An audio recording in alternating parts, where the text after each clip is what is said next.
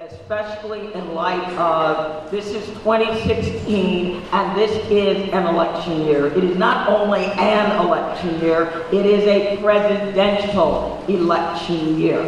And in many locations, not only is it presidential, Senate, and House, it is also state elections as well. So there is a lot at stake in 2016. And that means when we go out and we are asking people to vote, we need to make sure, number one, that they can vote, and number two, and number two might even be even more important, that their vote is counted the way they intended it when they cast. All right, so we are going to be talking about let me vote and count my vote. I'm going to start with a little bit about election or voter suppression. Everybody has read all the stories about what goes on in the southern states. We all know all about the voter ID, which then morphed into photo ID. We know that in Alabama, when they suddenly went to photo ID and the state was required to provide free photo ID to everyone who didn't have it. And they said, well, you can go to your local DMV. Well, in the state of Alabama, they closed all the DMVs in what they call the Black Belt of Alabama. So if you had a car and you didn't have a job and you could manage to drive 60 miles to the nearest DMV, not in the black belt, you could get your free photo ID. So what we're seeing is because voting is not a right in the United States. Let me repeat that. Voting is not a right in the United States of America. Voting is a privilege. And we have periodically extended the privilege through constitutional amendments. So originally, at the founding of this country, the only people who could vote were the 1% of their day. They were wealthy, land-owning, white men. You were a woman, hang it up, you weren't voting. If you were a person of color, hang it up, you weren't voting. If you were poor, hang it up, you weren't voting. We are rapidly working our way right back to where we started in 1776.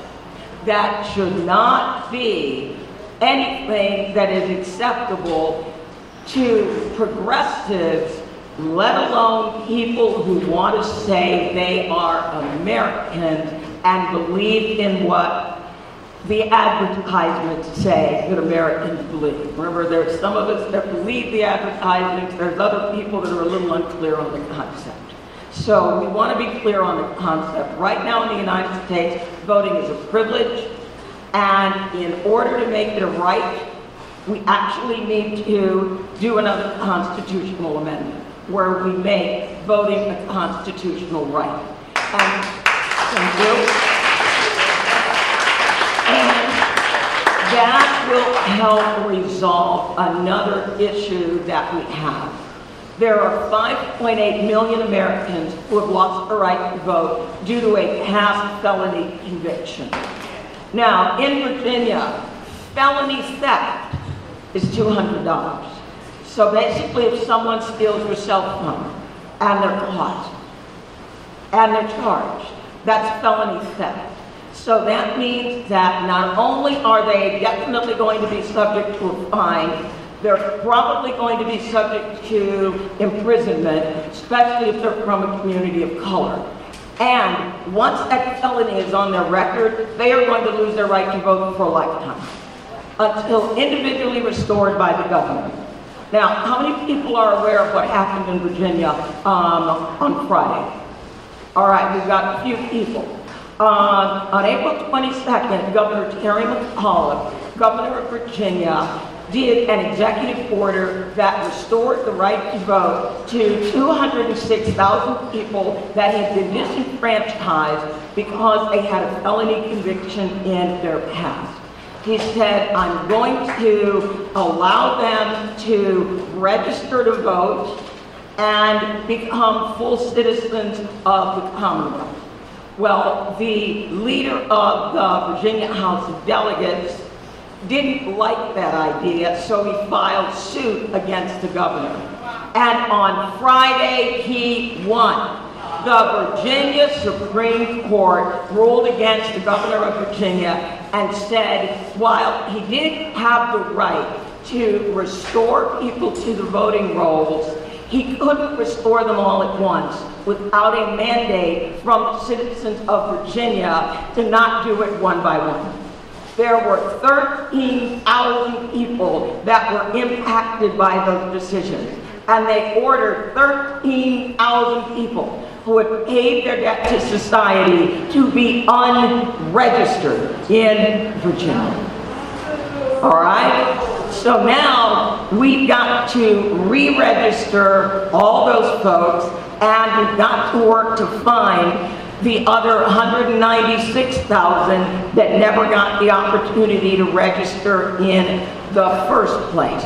We're going to have to store them and then we're going to need to register them. So the state of voting in the United States is at crisis level in terms of let me vote. 33 states have introduced some form of voter suppression in the past eight years. When I originally ran for Congress back in 2008, there were 4.6 million people who had lost their right to vote due to past felony conviction. In 2016, it's 5.8 million. Those numbers are going up. They are going in the wrong direction. And so we as progressives are going to need to look at a whole collection of American institutions gone wrong. We're going to need to look at our criminal justice system, which is proving to be a criminal injustice system. We are going to need to look at our war on drugs, which is turning out to be a war on communities of color. Um, an example, 13% of marijuana users are African American. However, 80% of people arrested for marijuana use are, wow, big surprise, African American. Who knew? So we've got a lot of work to do. We have a lot of work to do. Now, the voter suppression that I'm talking about, it's pretty obvious. For the most part, we see it. We hear about the laws that are going through our state house. Because it's visible, more people know about it, more people are willing to stand up and say it's wrong. Well, we're going to have to stand up louder, we're going to have to stand up a lot stronger because what we've been doing so far hasn't been working. Our other panelist, Lori Gray, directly to my left. To the left of Lori, we have attorney Bill Simpson. To the left of Bill, we have attorney Bob Fitrakis. They are going to talk to you about an election problem. Totally insidious because it's normally not visible. We don't see it. There are no laws that show up in the state house that we can fight about. All that we see are all these machines counting our votes. So I'd like to welcome Lori Gray and her team to talk to you about the biggest threat to American democracy that so many of us have missed. Lori. I've been involved with the issues around election integrity since 2003, actually, when I discovered that the Bush-Gore uh, election had been stolen, and worked with Beverly Harris at Black Box Voting. Um, I, uh, I wanted to mention that today we are actually talking about both uh, election fraud under the surface and also um, above uh, the surface with other kinds of voter suppression. And, uh, and I am feeling that this year, more than any other year, is the year that those of us who've been concerned about election integrity can be met by many other people as partners to create the democracy we want to create. And I want to let you know that uh, when uh, Bernie was saying to everybody, go register, you know, run for office and all this sort of thing, without um, a uh, system to protect your vote, to protect your campaign, to protect your election, we will not have the society that Bernie talked about. And especially when it gets up to presidential, senators, congresspeople, we're also looking at the issue that, uh, in a way that, that very large partisan voting corporations that would be considered, are considered part of the 1%, count our votes and are not willing to be transparent about the software. And, and I have dealt with this since 2003, uh, and Bob uh, since even earlier. And so we really are going to need your help. We're going to need your help in terms of your actions, your energy, uh, your donations when you can. We're operating through TrustVote uh, which is a uh, nonprofit, and you can make a difference, and collectively we can. And it's best that it's in the domain of a nonprofit. We will talk both about different things that we've got going, and Bill will talk uh, next about things in California, and then Bob in Ohio, and we're going to talk also solutions. So you can get signed up on trustvote.org and really be in touch with solutions, presentations, filming on trustvote.tv there with Steve Enzer is, uh, is uh, and you will see things live as though you are ha- it's happening right now. We've also done some live streams with questions and answers with people. So I just want to let you know we really want to include you. We want to bring in more young people also. Uh, and, and the young people were in California particularly discriminated against also in Ohio and other places. And so we're all going to be open to questions and answers shortly, but I wanted to bring forward to you that I'm um, the executive director of the Institute, also more recently known as trustvote.org, and I really welcome you to be a part of this so that you can feel really empowered, really informed, and make a difference in this very country we care so much about. So with that little announcement, I want to uh, have Bill introduce what he's doing. We're supporting him in the lawsuits in California. He'll talk more about that. And we're supporting Bob with dealing with Edison Media Research and other uh, broader topics. Uh, so thank you, and each of you want to talk.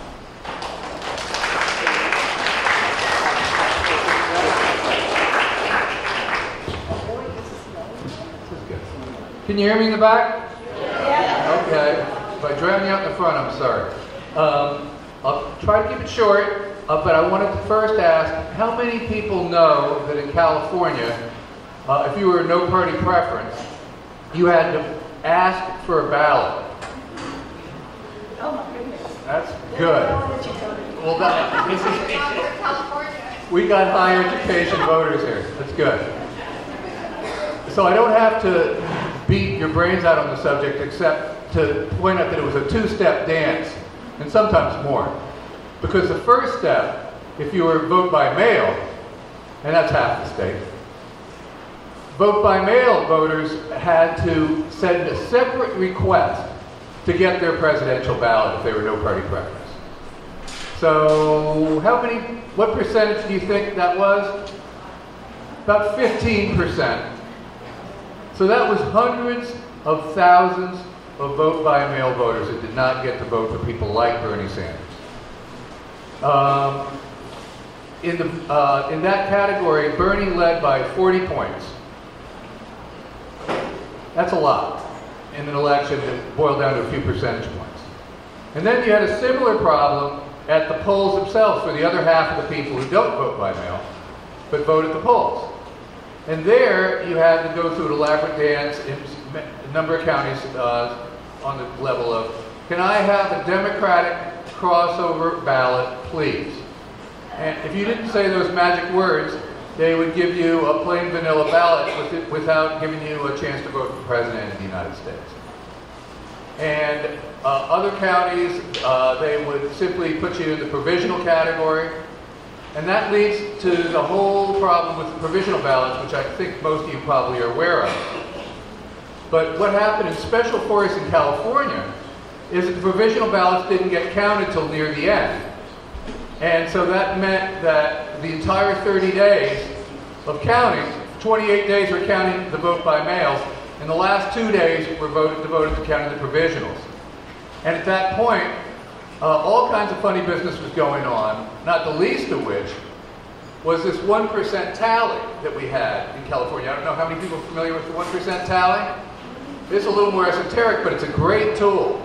Because what this tool allows you to do is to uh, count the, take a sample of the paper ballots from a sample of the machine ballots and compare the two to see if they match up. But they didn't include the provisional ballots in this matchup. And uh, it, that allowed for an enormous amount of cheating to possibly occur. And uh, in San Diego, where Michael Vu, uh, a well-known fraudster, and Bob can tell you more about Michael Vu, but I can, can, can simply say that when Ohio finally got rid of him after his uh, cohorts were convicted for felonies, uh, he came to San Diego in a matter of weeks, and he's been there ever since, doing the same dirty work and causing the same kind of lawsuits. He's been at it now at least five times. And Michael Vu got eight of his the other counties to say, hey, we count them the same way. We don't include the provisionals, even though the statute says that you have to include all the votes in this sample to make sure they come out right. And then what makes it worse, uh, quite apart from the problem with 1% tally, is that in San Diego, like most states, uh, most counties I should say, you can't observe the election in any meaningful way.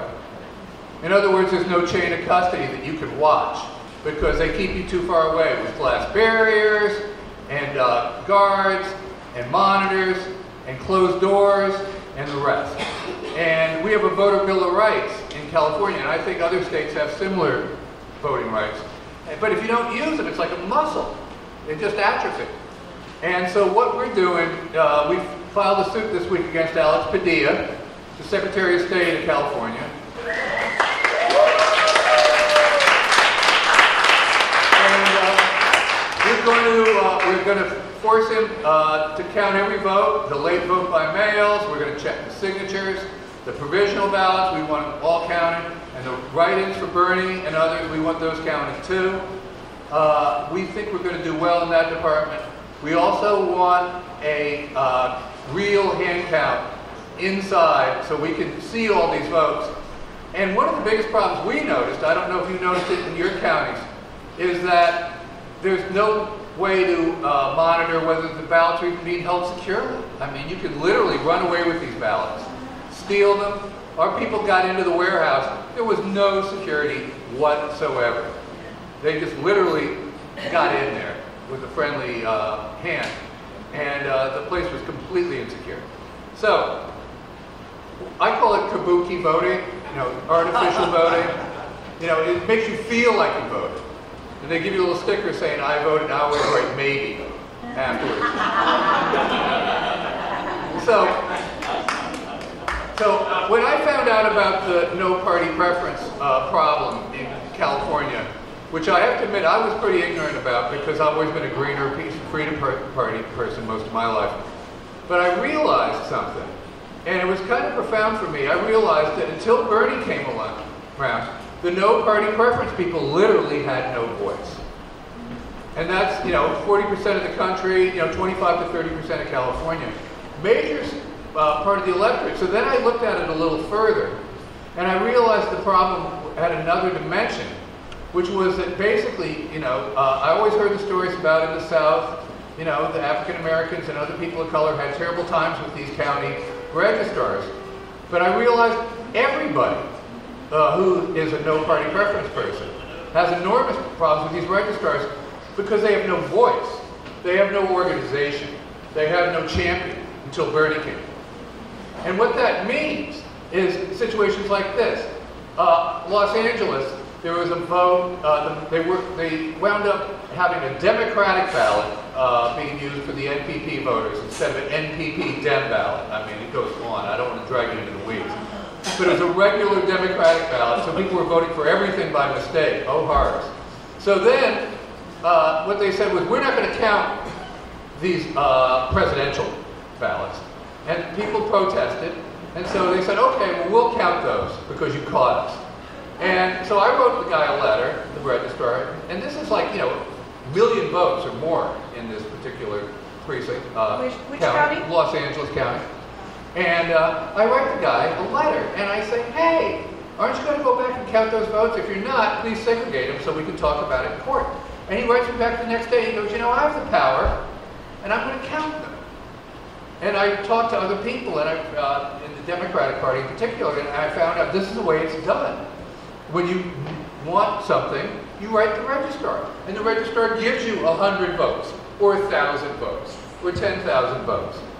And that's when it really came through even clearer than it had before, that what we have here are fiefdoms. We have little dukes and duchesses, 4,000 of them around the country, 58 of them in California. And these are the citadels that we have to take over. And we, we can take these people down in a matter of months, okay? These are the most poorly held citadels in the United States. There's not a lot of money in it. These people are lazier than you know what. Uh, they're, they're just plain lazy. And, and, and you, you can tell by the way the poll workers are chosen. Certainly in my part of the world, and I bet you in yours, the poll workers are underpaid, they're undertrained, and they get no respect, they get no love, and as a result, they put you in the provisional basket because they want to get through the day. And they, when you're not feeling respect and you're not feeling love, uh, you know, it's, it's a sign of a society that's falling apart. And that's what we have.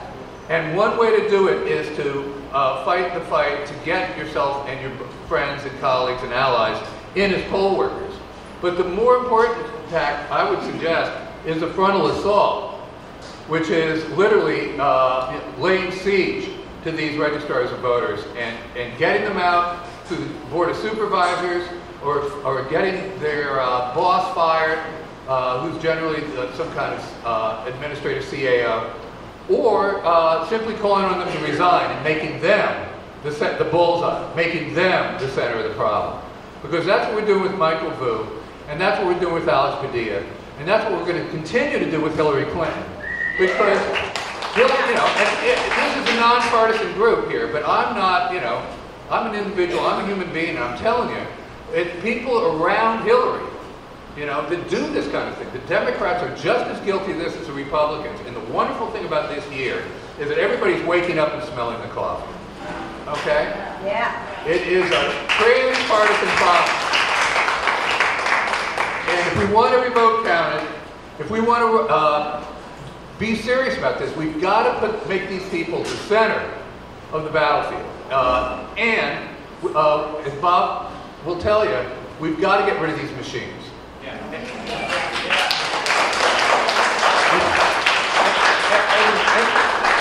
And everybody's got their rap on the machines, but mine's about three sentences long. They're like the nuclear option. Uh, it- you don't know, you don't want it to ever be used where somebody's cheating, right? And so, what do you do? You live in fear. That's what we've been living in for a long time, and we've got to break out of that. And I also think we've got to break out of trying to solve every loop, uh, uh, tittle of the problem. We have to simply say, these things are too dangerous for our society. Germany and Ireland banned them in the last five, six years.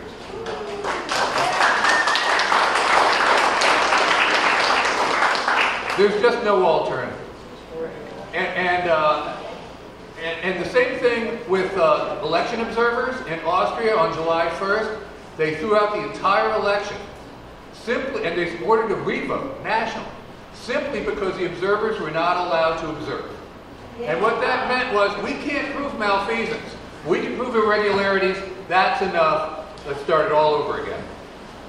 we need to take that approach in the United States in the most fundamental way. Uh, African Americans and women, people of color, have been abused by the system for 250 years. We've never taken a frontal assault on the people who run these elections. We've never focused on the 4,000 counties and said, you've got to organize here, we've got to get all 4,000 counties in line, we've got to do it the same way, and we've got to stop this nonsense. And that's what it's going to take. Thank you.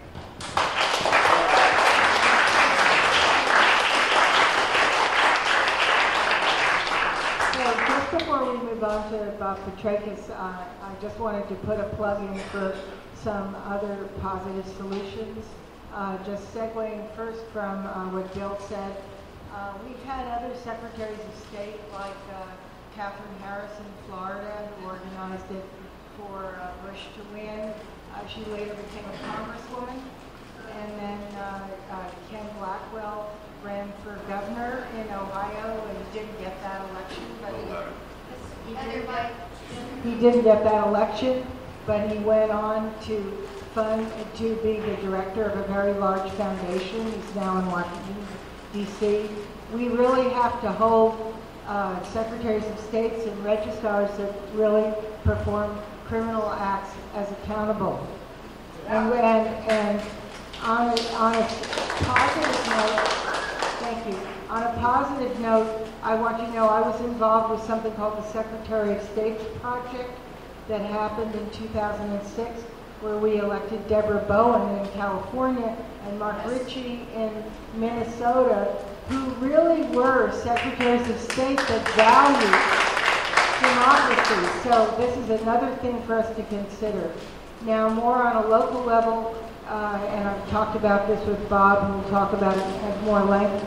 Uh, we're looking at uh, Democracy Counts, which is, which is an election audit, where uh, that'll happen in some swing states uh, this coming uh, fall. But beyond that, where uh, people, it's kind of like an exit poll in a way, and it does very quickly with an app who you voted for. Um, for I think they're going to do just president, but I don't know, and and your um, a little bit of demographics.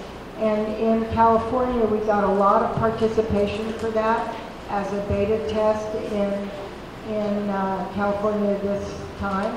And then additionally, we'd like to create some pilot projects of precinct uh, hand counting, uh, if possible. I know Columbus, New York does it, um, and there are a few other places to time how long it takes to do it using citizen volunteers, perhaps, and also better trained, uh, more highly paid poll workers if they're involved. And then the, the uh, third thing is, is in Humboldt County, California, there's something known as an open source Trachtenberg system, the TED system, where you put all the ballots uh, that were counted in the whole county in a high-speed counter after they're numbered, and you can get uh, an open source calculation of all of the votes. And in that particular uh, county in California, um, which has been operating since 2009, we gave an award to the registrar. I'd like to give an award to the registrar in Columbus also. Um, uh, Bernie happened to win by 68%, which is closer to um, the, how we were coming up with some of our exit polls that were also being done uh, informally through our organization. And so I just wanted to bring forward that there are positive strategies. There are legal strategies, there are vote counting strategies, and you know, we'd like to see it all happen and we'd like to see your help. And just before that, because um, we're going to have a question and answer period, I wanted to have Bob, Bob present. So.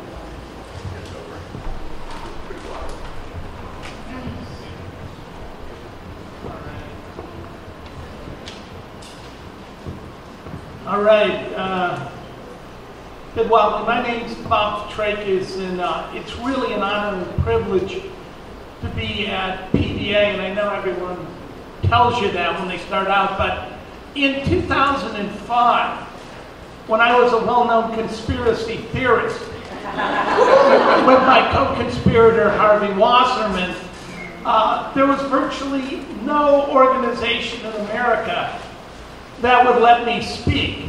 And then Mimi Kennedy called me and said there was actually a group of Democrats, uh, even though uh, the election campaign uh, had officially folded, is that they were interested in hearing about the fact that private, partisan, for-profit corporations secretly count our votes with proprietary software.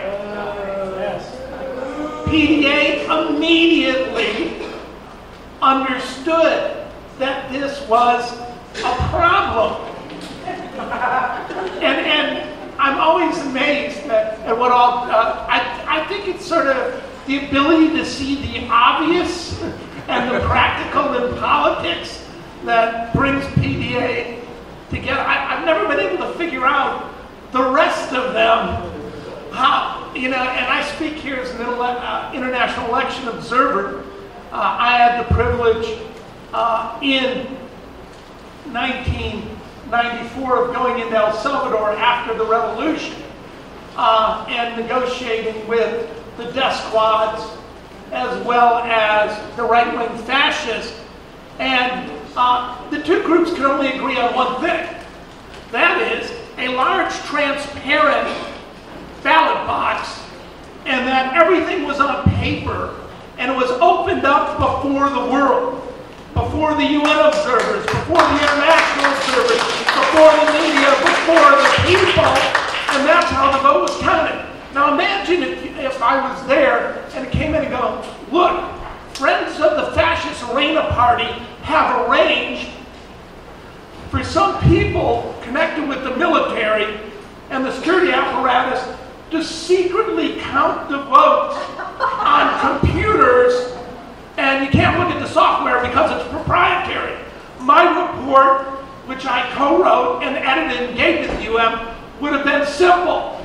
Presumption of theft and fraud. And I'm charging the Clinton campaign or whoever worked on their behalf of having done the same thing. What happened in the United States against the Sanders campaign is the most, it can't really be considered an election, particularly in New York, in Alabama, in Arizona, in California. It was a coup d'etat. They told us, right, we now know it's like the nation attacked Harvey and I as being conspiracy theorists in, in that scenario. You know, what was happening? The DNC was conspiring? Yes! We know that from the emails. They were conspiring. Not only to out him in West Virginia, Bernie Sanders is a Jew and an atheist, but to use the entourages, to use the regulars in the party, those that are in the movement to curry favor and move forward in their own careers instead of standing on principle like the PDA. Right.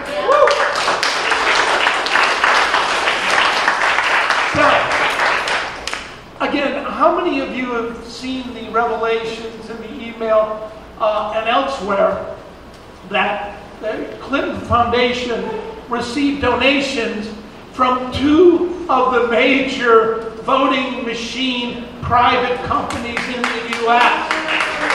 Absolutely. I don't know how this is allowed uh, under law that somebody who's a candidate or who knows they're going to be a candidate accept, accepts money from Hart InterCivic and Dominion. Any more than I understand in 2012 when my newspaper, the Free Press, freepress.org, revealed that, again, Mitt Romney's uh, friends at Bainco through Hig Capital and Solamere, his family's personal hedge fund, had invested and purchased Heart Hart InterCivic, the third largest voting company in the United States.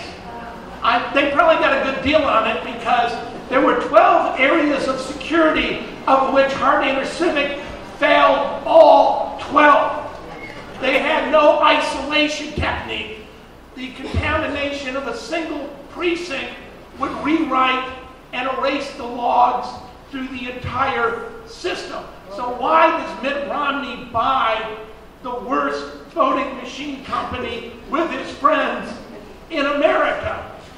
Uh, could it be because it was coming down to Ohio in many ways, as often it does, and that was the company that was counting Hamilton County, Cincinnati, Ohio? I don't know, I'm just suggesting, uh, I think what many of you understand, the obvious, that more than anything, we've got to stop these private, proprietary, for-profit, partisan partisan companies from counting our vote.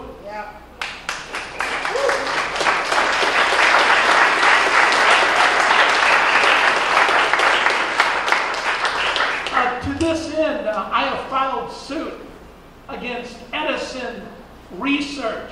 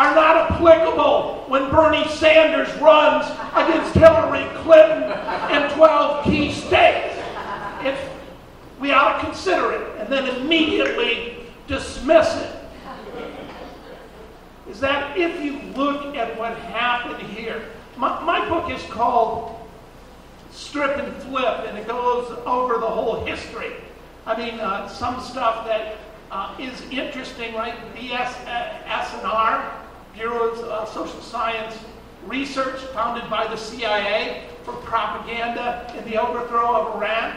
Most of the voting machines came out of that core group of people. That group of people are the ones that decided we should be using ultimately, in the long run, in the 60s and 70s, supercomputers to tabulate votes. So it's really a handful of people. And I know what you're thinking. Dr. Fitrakis, many of them were on the record for only believing in tampering and stealing votes in the third world. I'm sure, because that's where this technology comes out of, right? And they openly admit to it they openly admit. Uh, the, uh, some of you uh, may know of this, but when Frank Church, the senator from Idaho, bless him, uh, stood up courageously, the CIA admitted that they had engaged in 5,000 benign operations. Now, benign operations is an interesting term. It's a term, it's not a bloody coup. We didn't have to kill 800,000 ethnic Chinese in Indonesia in 1965. It's a term that means rigging elections. And when this emerges in the U.S., it's really associated, shockingly, with the former CIA director, George Herbert Walker Bush.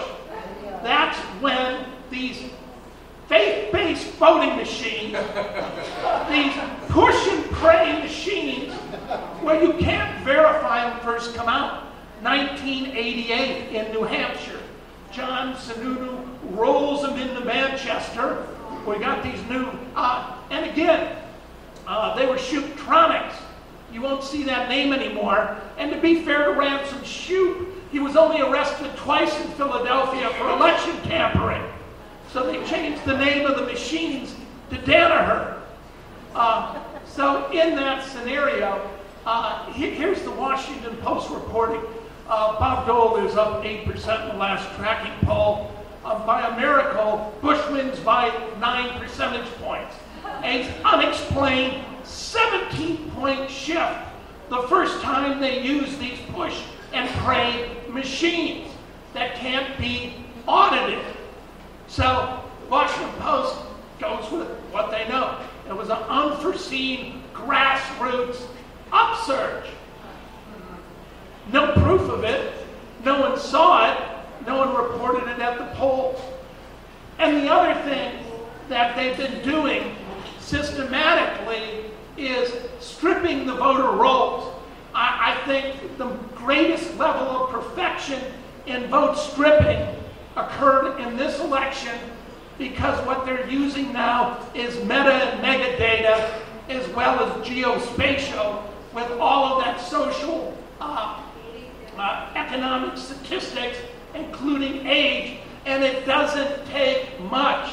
Uh, shockingly, in Ohio, uh, Bowling Green, where there's a college, Athens, Ohio, you know, tens of thousands of people had to vote provisionally or showed up and weren't on the rolls. Uh, and then you go, well, yeah, some for Hillary, some on the other side, but it's always Brooklyn, uh, a home base in New York for Sanders, or Ohio University in Athens County. It's always a hardcore Bernie area that is targeted. Think about this. Private for-profit companies control, uh, we privatize this. They're helping with the databases. Uh, and then they work on the electronic poll books.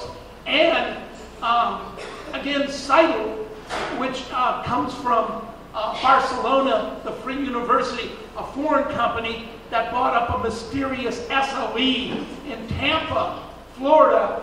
All of these companies, they're one stop shop. Not only will they register your voters and uh, build your electronic poll books, they'll also handle your social media to make sure everyone has a good experience, and they'll do your central tabulation, your election night reporting, and prepare your final results.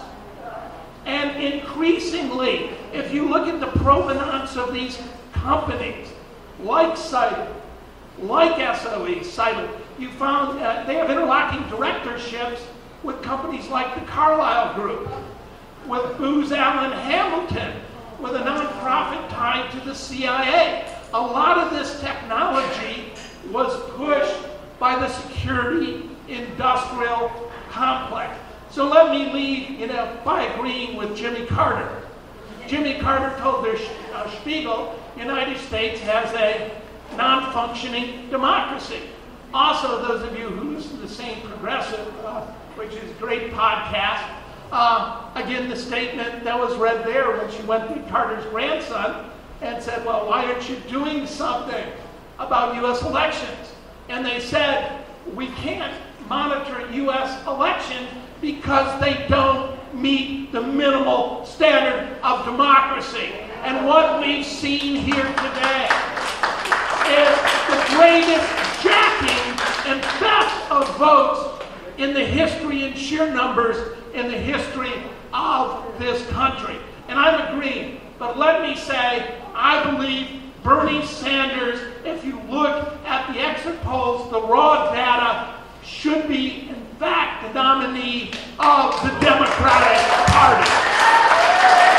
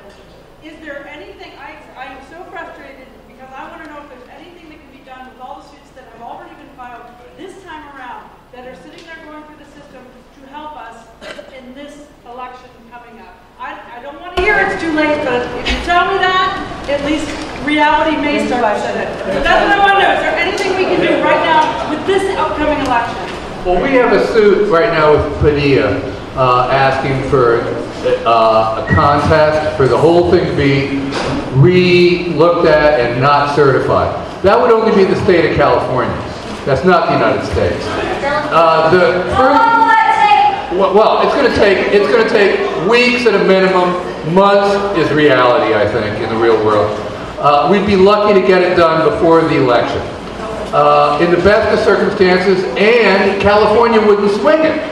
The, the horror of what happened, the horror is really what AP did the night before the election, right? I mean, it, it's all up here. You know, when they steal our minds, when they steal our ability to fight back, when they steal our ability to uh, seize the thunder away from Hillary, that was what California was about. It wasn't about the votes, it was about credibility to govern.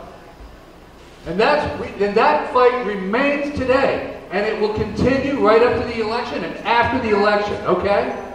I mean, what we need to create is nothing less than a social crisis. And that's why my heart is with you. Because that's what needs to happen. We cannot accept whatever happens this week as the be all and end all of anything. If we're building a movement, the idea is to take power. Right there. Okay, great, excellent.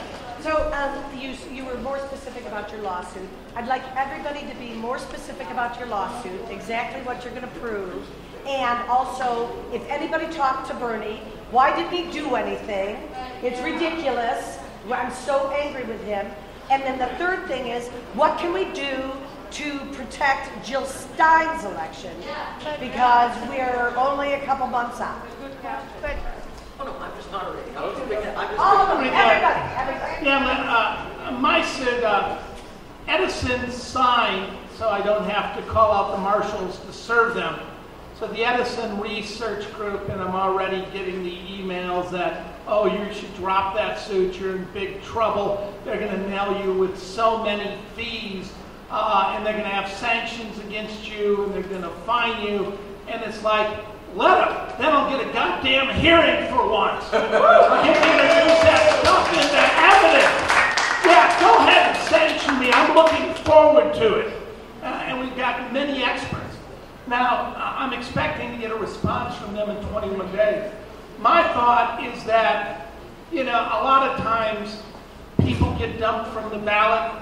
Who knows what new revelations will come out? As long as those ballots aren't printed, uh, you can you know, print a new ballot and put Bernie Sanders' name. I'm going to do everything I can to expedite my suit, but there's other political forces uh, in the world, and a lot of it will uh, depend on the luck of the draw uh, uh, of the judge. But I'm not going to be quiet.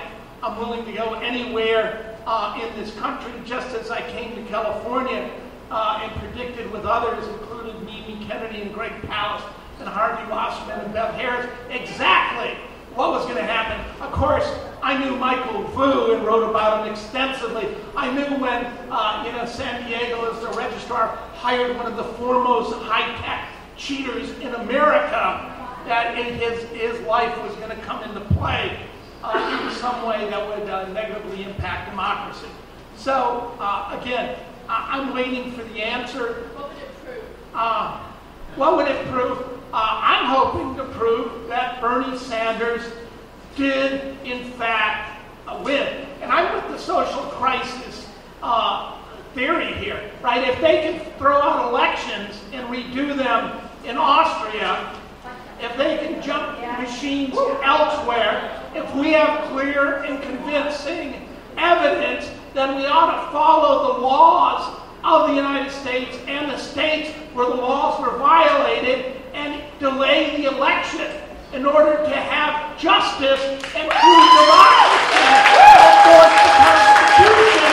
Sometimes you have to wait in the crisis and do it right.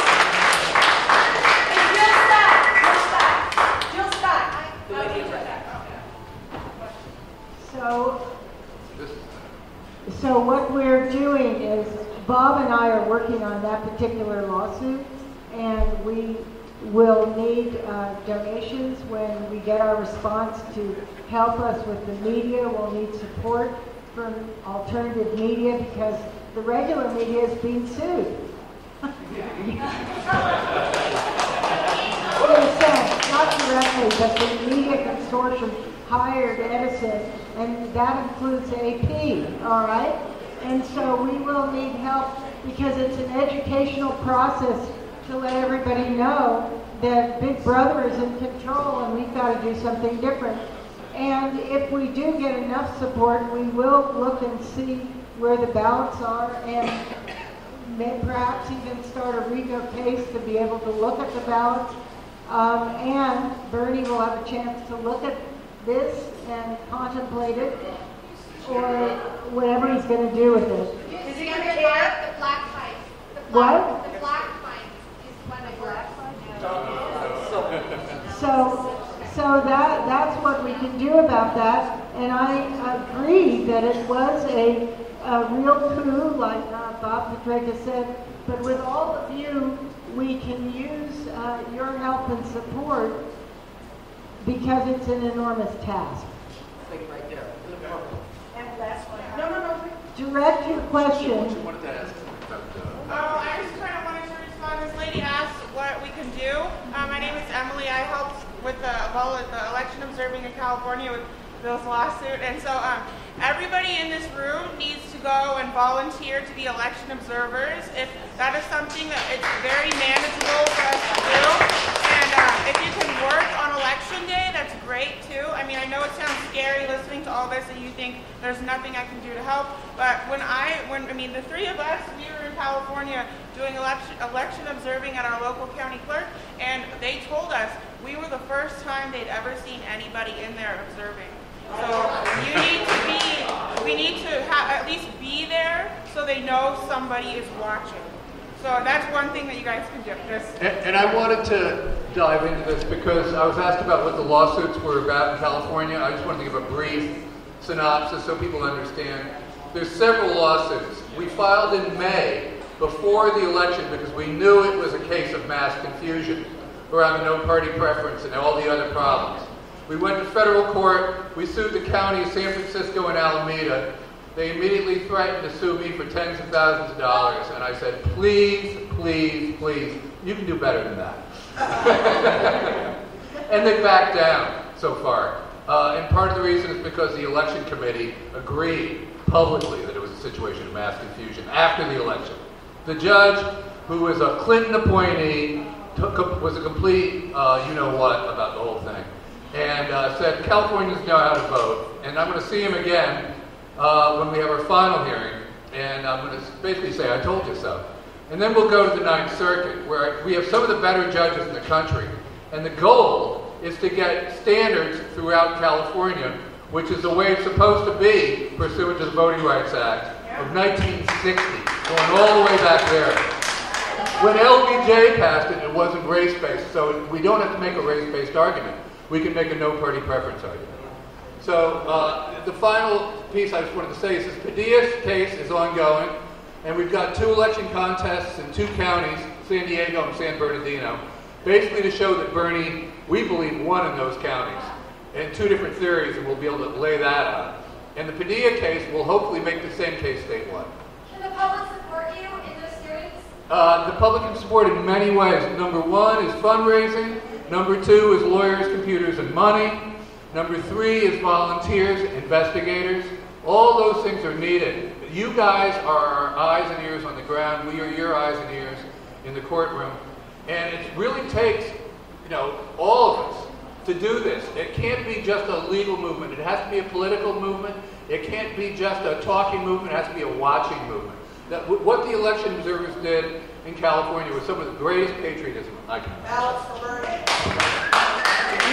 We got, uh, we got people uh, emailing us at info at trustvote.org um, with all sorts of help, and we were able to provide uh, Bill here with uh, lawyers that were really willing to work uh, as volunteers, I might add.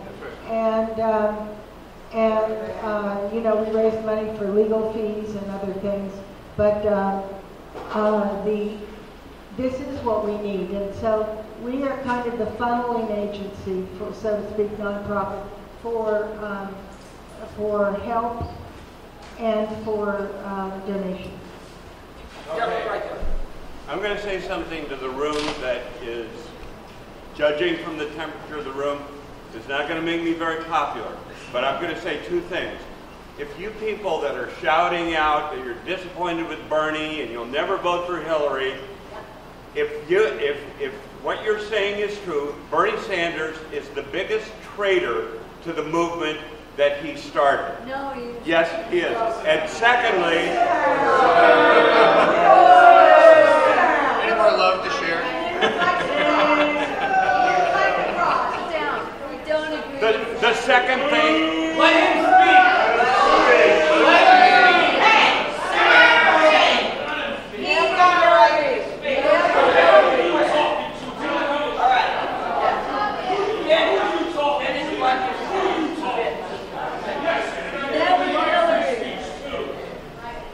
okay, the second thing I'm going to say is I have been part of you as progressive, members of the progressive movement since 1972. I worked on the ground for If you can imagine the frustration that I have felt, all I'm going to say to you is when Donald, if you get your way and Donald Trump is elected, where are you, what are you going to be doing a year and a half from now? Protesting control. No, how dare you say? I have the floor. I'm a Quaker. Let's love him to death, okay? No. I, I wanted to thank you. I think I listened to you live. I was like in bed and I had my computer on. Are you the group that had it live on the internet? Yes. Thank you for all your hard work. Um, I've known Bernie since 1988, and what I've learned here at um, PDA is that I I might have to go back on my Bernie bus. I don't know. I just because of the Supreme Court thing and Oh, God. I know, but We're not doing but. I, I was a Green in 1982 when I lived in New Zealand. I came back. I joined the Green Party, but. Bernie is somebody I really think has integrity, and what he's seeing is that this option is to keep Trump out of the White House. And so I might have to wear clothes. We don't care. We don't care. We don't care. We don't want to hear it anymore. I don't want to hear it anymore. I just want to close. I just want to close. We don't give a shit. I, I just want to close, and I'll probably get arrested tomorrow because I really don't like what's happening at the convention. And I will protest that Bernie really is the winner. Yes, But- he is. But I, I, we need to band together. We don't need this animosity because all of us have to vote our. Then vote. stop telling us about Hillary. But I need to have a voice. All right, ground rules. Ground rules, ground rules, ground rules, ground rules. About election integrity. Is not about the candidate. It's to concentrate, focus. I'd like to say something about this oh, oh, topic. Oh. I'm writing an editorial about vote with your heart.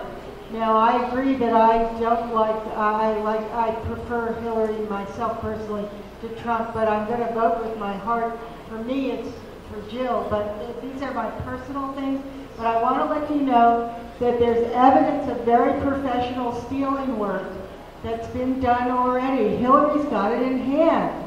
Dominion, by the way, it was known as Diebold. Diebold has a history of delivering elections. Um, Hart InterCivic has also got a past history. And I but I'm just letting you know that Hillary's got it, all right? Integrity is never really. I just have a very, I just very nice Turn it off. question, uh, so I know what to demand of, of, of my officials and so forth. What kind of machines, like when I vote, I bubble in a sheet and I stick it in a machine. Is that kind of machine better, or so we're not, we don't need to go through a write-in, write on a piece of paper kind of ballot. We can still use machines, but it's just particular those kind of machines. Is that I correct? Yeah, essentially, that, uh, that's an offshoot of the old Scantrons, and that it is a better machine because you actually have a ballot and paper that can, can, can be counted. And Lori's done some work there. Uh, there is a transition, there's already open source technology, and, and Lori actually had a, a county in California that the proprietary secret machine would count it, and then you would run it through an open source machine.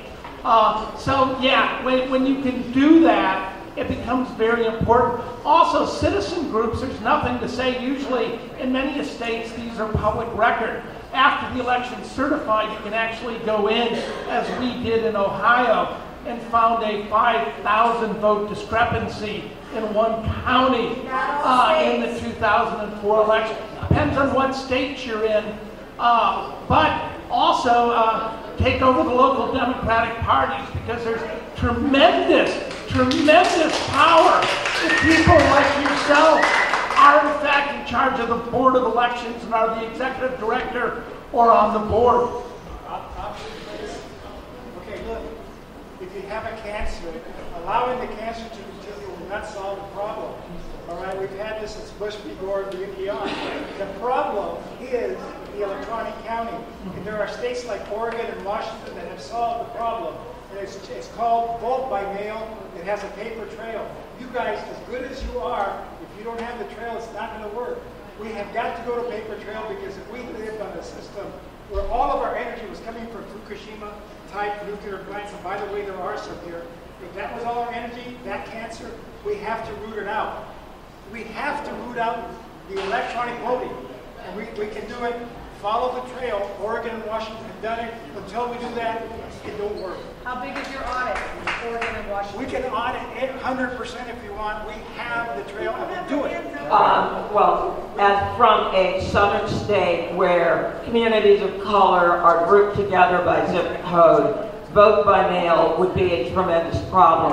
It would be the easiest thing in the world to identify all the votes coming from the community of color and just conveniently lose them. We're all signature coded. Check with the Secretary of State of the state of Washington and Oregon, and it is. You're Democratic states, you're not Republican through and through.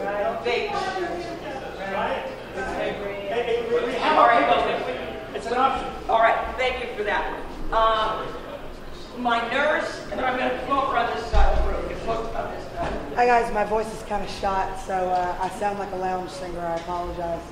Um, so my name is Lucy Riley, um, Bay Area for Bernie, Richmond, California, proud member of the Richmond Progressive Alliance. We beat um, Chevron, outspent 20 to one, not going to get Bernie came to speak um, September 29th, 2014, two days before um, our city council election. And we kind of feel like we gave him that fire in the belly moment when he asked us what, what should he do after his barn burning speech. And a thousand of us stood up on our feet and said, run, Bernie, run. So, um, and, we, and, and we invited him to come and speak to our folks because we were scared, okay? We were scared because we had been outspent 20 to 1, okay?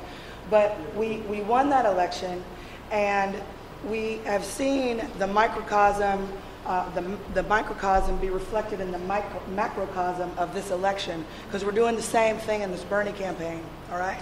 We're the little guys, and we're outspent 2,000 to 1, right? So um, what we did, because we're so passionate, um, and we are, of course, a lot of younger folks in this Bernie campaign. And we do everything, social organizing on our opposable thumbs, on our phones, and we've got a 24/7 Bernie meeting going on. So June 7th, we trans, we transitioned from the Bernie campaign to the ballot count observation initiative, and we're in 58 counties on ballotsforbernie.org. We've got Ballots for Bernie Facebook page. I'm the bitch who's the admin, and I kick you off if you don't stay on point. So, because it's important, because we've got a job to do, right? Um, so what we're doing right now is we are moving forward with just what this beautiful young woman brought up. We are organizing these 58 counties of team leaders and teams of 15 to 20 people who are going out and putting 8, 10, sometimes up to 40 hours a week of unpaid time into monitoring this ballot count. We're rolling them over into a volunteer army to go into the precincts and work the polls, be precinct monitors, be um, you know precinct captains, organizing our own exit poll, folks. Okay Yeah. and turning all of that over into monitoring the ballot count afterwards. We invite you to join us. We got a 24/7 thing going on. Send me a request on Facebook for ballots for Bernie. All right, you'll see Bernie with a bow and arrow, like Robin Hood. Okay, because we, we intend to win, folks. We Do intend to win. We have the We can- exit poll protocol you can send us? Look, we're, we're in the process of organizing all that. Be a part of the ground, be a part part of the foundation with us, okay? This is a write-in? Write-in. Thank you. My No, this is is- not about writing and burning. My question for the panelists has to do with the recent uh, WikiLeaks revelations. What, if- what, if any, are implications for lawsuits that, that have already been filed or lawsuits you're thinking about filing? And I guess in, in part, that's not a fair question in the sense that you don't have psychic powers. You know there are new revelations to come. He's already promised that, but we don't know what, what, or when. So, especially. Yeah, I haven't been through them all, but uh, I was just uh, going over it with a researcher. Uh, I'm in communication with uh, Rhode Island, uh, where there were reports of uh, places, polling places not opening up at the right times, etc. Uh, now, uh, obviously, the, the governor and the secretary of state's involvement on the platform committee and in the DNC calls into question those were strange accidents. But Rhode Island now stands, I believe, as a target for election tampering from the preliminary email. Oh, good.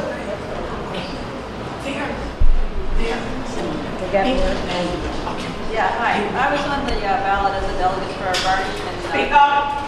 And Hillary Clinton's historical uh, uh, congressional district, I was on the ballot for Bernie Sanders.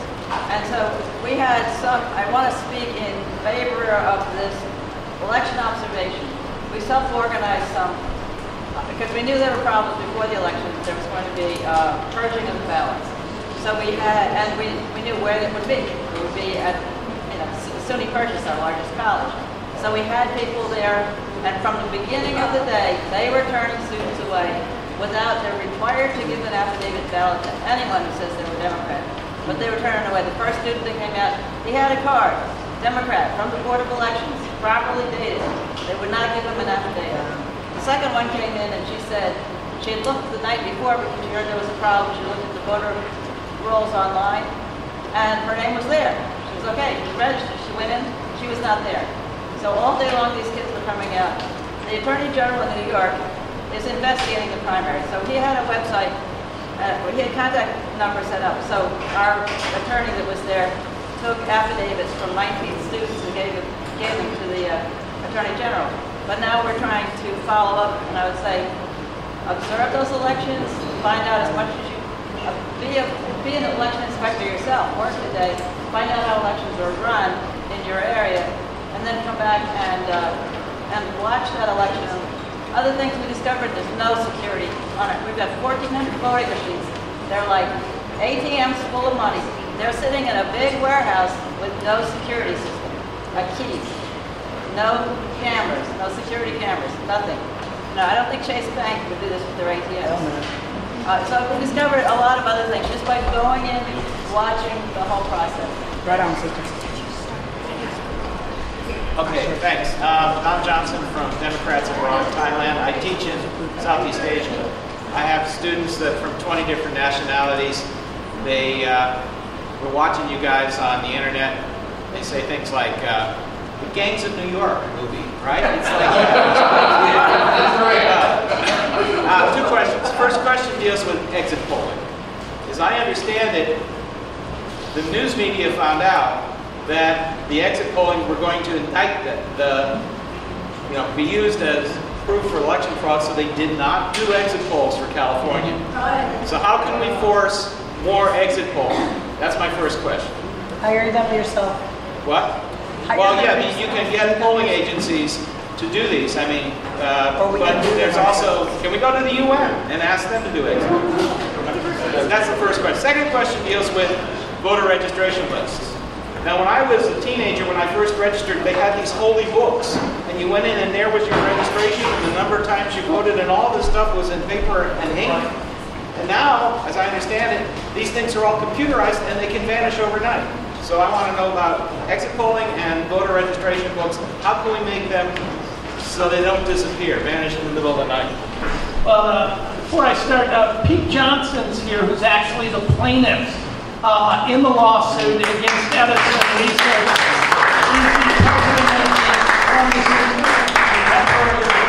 Board, so thanks, Pete. Uh, the exit poll, first, uh, first of all, we should be prepared. There's an ongoing campaign to tell you that the exit polls don't matter. Uh, but I was on my, I was on my couch in Ohio when not a single vote was reported, and CNN based on the exit polls, called the election for Hillary Clinton. Uh, and again, she was supposed to win by four percentage points. Those were the original unadjusted exit polls. She won by 14, which greatly impacts the delegate count, of course. So in, in that scenario, uh, the problem is, uh, and to answer that question, what happened is just prior to them calling off California, uh, Cliff Arnebeck, another attorney, uh, and I was an expert witness in, in that case, so uh, I know what happened. Uh, we issued a hold order to Edison Research Group not to destroy any of their documentation. Within a few days, they had announced there would be no exit polls in the remaining uh, states. So I, I, and then the AP, which Edison works for, right? They're part of the media consortium, the oligarchs uh, that use these polls, the four uh, broadcasting networks, uh, the AP, the Only Print, and CNN. That's the consortium. So uh, they moved away uh, from this. And the problem is there are other people that can do it. It's massively costly, but we could, uh, I think we have enough time if we really care about this to isolate the key areas and uh, to put them on notice. Uh, Lori actually paid for exit polls in California that in a few key areas, I, I went out there and helped uh, work on developing them, uh, showed that in, in, certain areas Bernie was four or five points ahead of the actual uh, talent. So uh, I think that's very important. And I, I think the other question, and I'll make sure also that Bill gets to speak. Uh, you asked me about the polls, was that it? Second question was about voter registration. Yeah, the, yeah, the paper trails are infinitely preferable. Uh, in Ohio, uh, the legalized marijuana uh, initiative was supposed to be passing in all of the final polls. And then miraculously in the Cincinnati area, the electronic poll books were not properly downloaded and uh, tens of thousands of people were told to leave, were unable to go there. So you privatize these uh, poll books. An interesting part, if you ask about Ohio, the poll books are run by Triad. Triad is famous from 2000. They're the ones uh, that gave you the butterfly ballot That's the company, and they're owned by the Rapp family, the leading right to life family in Ohio, totally partisan, does uh, the vast majority in 88 County, does the poll books electronically, which glitch as they did in 4 for Depot when 10,000 people in Cleveland in the inner city were accidentally jettisoned two weeks prior to the election. Great.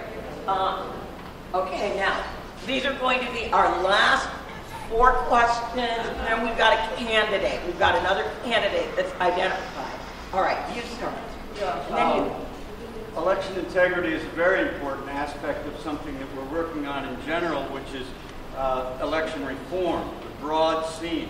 Uh, I'm, I want to make uh, the point that uh, we, if we just fix Citizens United and voter suppression, uh, and we build a huge movement and don't fix the whole enchilada while we've got that going, we're, we're, not doing it right. One of the, the, the, groups, maybe you got arrested with them the other day, that's working hard on this effort is uh, Democracy Spring. You may have heard that they got 1,400 people arrested.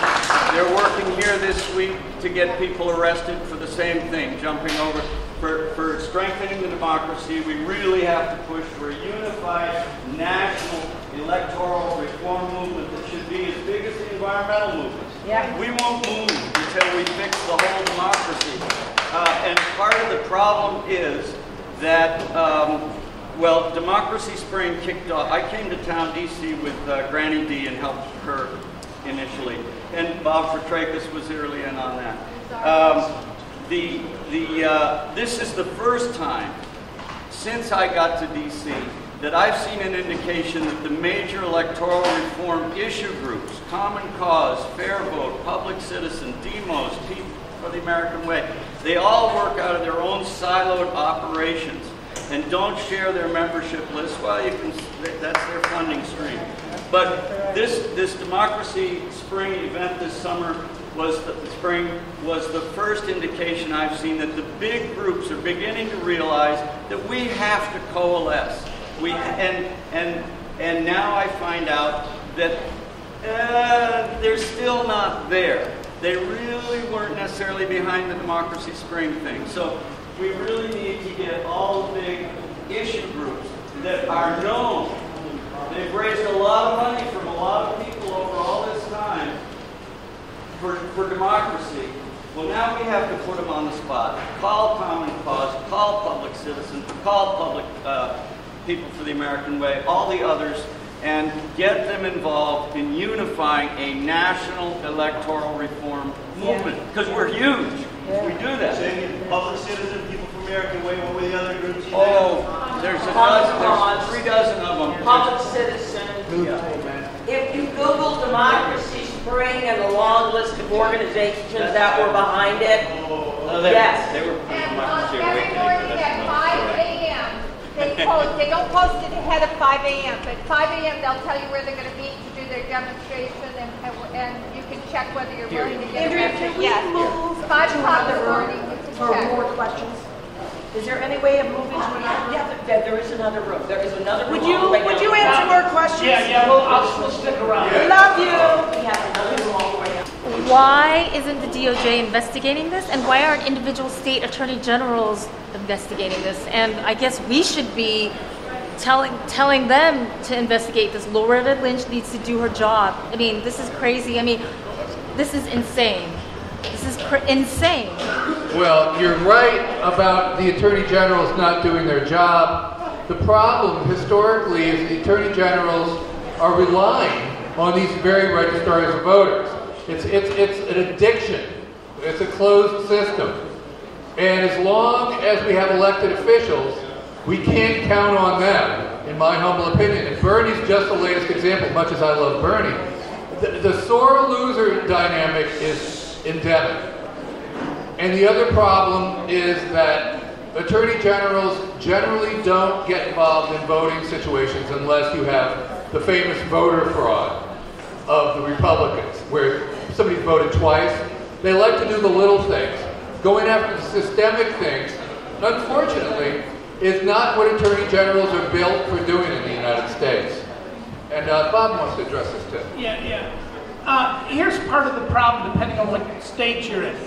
In Ohio, when we sued to overturn the 2004 election, the, the attorney for J. Kenneth Blackwell, the co-chair of the Bush reelection committee, his attorney uh, was the Attorney General of Ohio.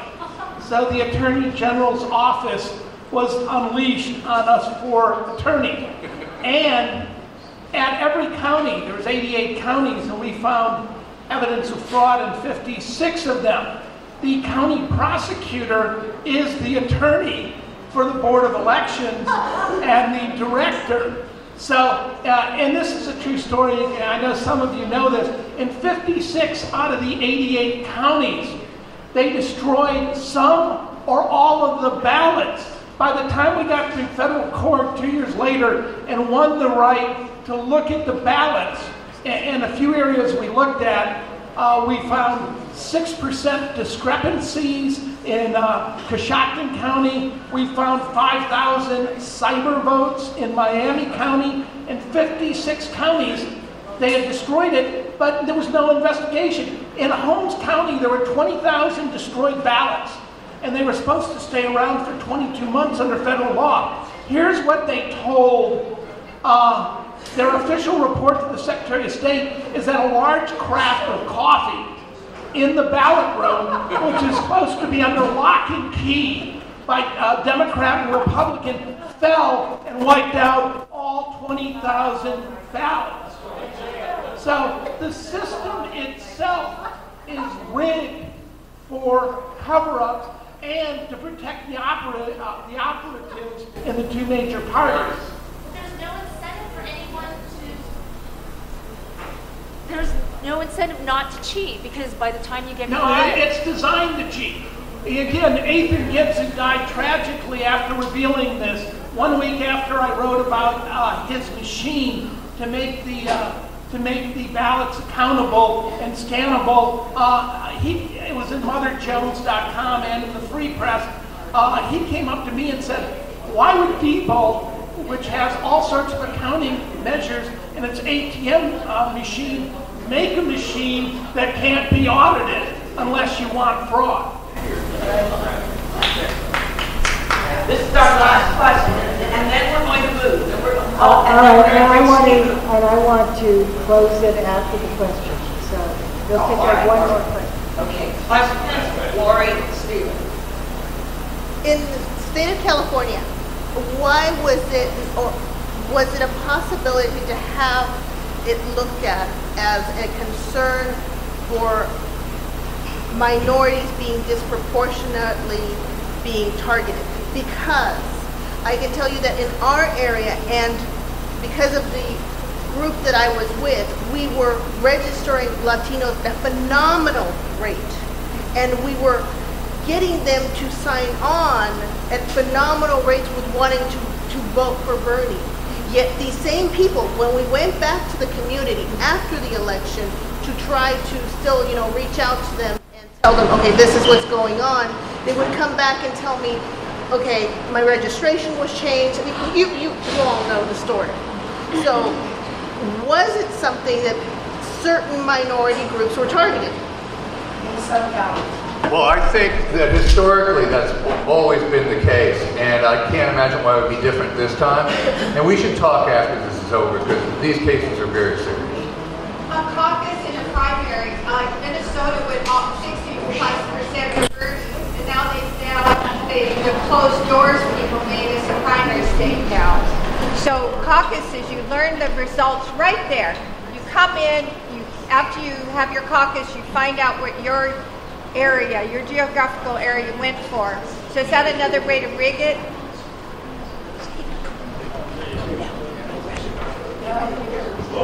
Yeah. O- Obviously, anytime you have transparency and people are declaring, and it's easy to count, I mean, Bev, uh, Bev Harris is right, right? It's black box voting.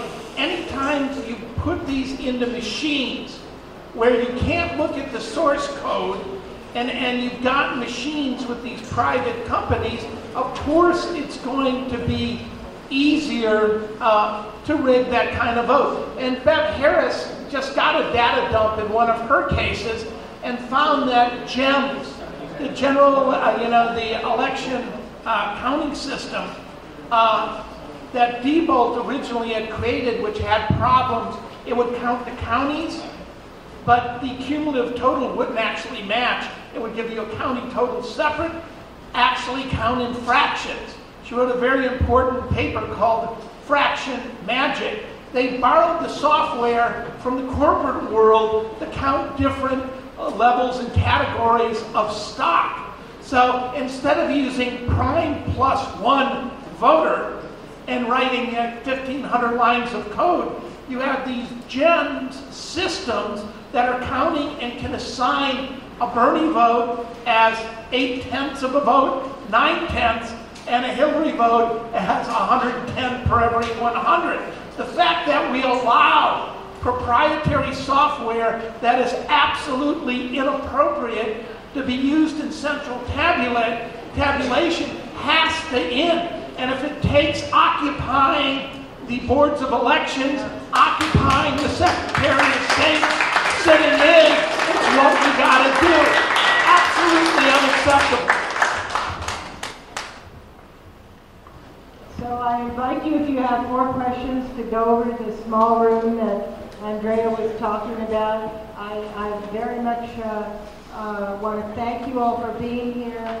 I uh, want to also thank uh, Steve Enzer with TrustVote.tv and Naomi Anderson. Let's come forward. Now, uh, As a, as a and we are funneling all of your, uh, you know, will be an information source for you. Uh, we, we will request, we will receive offers to help, money, everything. Please stay in touch with us and join us in the small room if you need to. And thank you, Bob, and thank you, Bill.